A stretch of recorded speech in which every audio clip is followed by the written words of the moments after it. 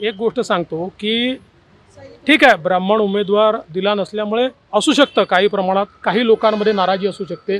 पण सरसकट ब्राह्मण समाजात नाराजी आहे वगैरे हे म्हणणं अतिशय चुकीचं आहे. इतका संकुचित विचार हा ब्राह्मण समाज कधीच करत नाही. काही लोकांमध्ये नाराजी असू शकते ती आम्ही दूर करू. आणि हा जो बॅनरचा विषय आहे आपल्याला लवकरच सत्य समजेल की हे बॅनर लावलं कोणी.